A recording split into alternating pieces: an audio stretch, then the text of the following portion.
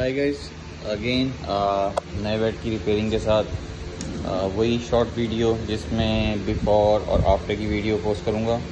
और एक ही वीडियो में होगी ये और बाकी जो है जो रिपेयरिंग की वीडियो है वो स्किप होगी। Uh, ये जस्ट शॉर्ट वीडियोज़ हैं ताकि क्विकली आप देख सकें कि बिफोर और आफ्टर क्या था क्या नहीं। तो ये बेड है सी ए ट्वेंटी ट्वेंटी बहुत फ़ेमस था सी ए का। एक एक टाइम था कि ये हॉट केक था बेड रीजनेबल प्राइस में मिलता था। अगर डॉलर्स में बात करें तो अंडर हंड्रेड डॉलर का था ये।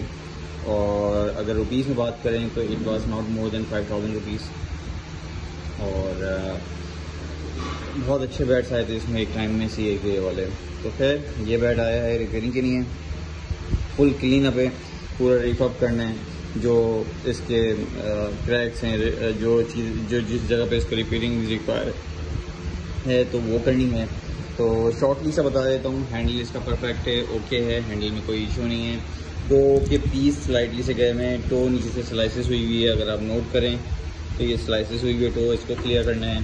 फिर लाजमी बात है कि जिस तरह की इसकी एज दिख रही है विथ थ्रेड शीट के साथ तो इसके अंदर भी एज इस क्रैक डी लेमिनेट वाले कंप्रेशन क्रैक्स होंगे। और पीछे से तो एज ऑफ़ नो परफेक्ट लग रहा है बिल्कुल। तो स्टार्ट करते हैं इसको। फिर नेक्स्ट वीडियो इसकी कंप्लीशन के बाद की होगी।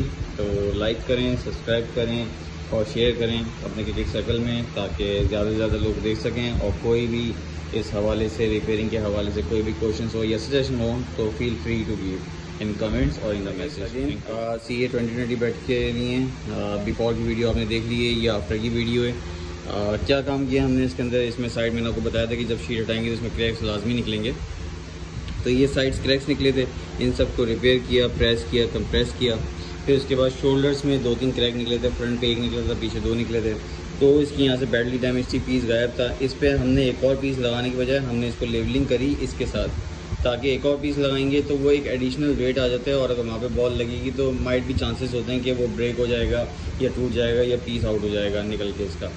अच्छा इस बैट के ऊपर मैंने एक चीज़ चेक करी जो शायद पहले मुझसे भी ये गलती होती थी तो उस चीज़ को मैंने ख़त्म किया।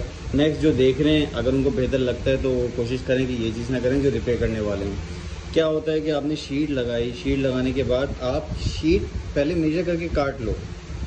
दैट इज़ गुड आप लगाने के बाद उस पर ब्लेड मारते हो तो उस पर पीसेस कर जाते हैं और तो कुछ नहीं होता है।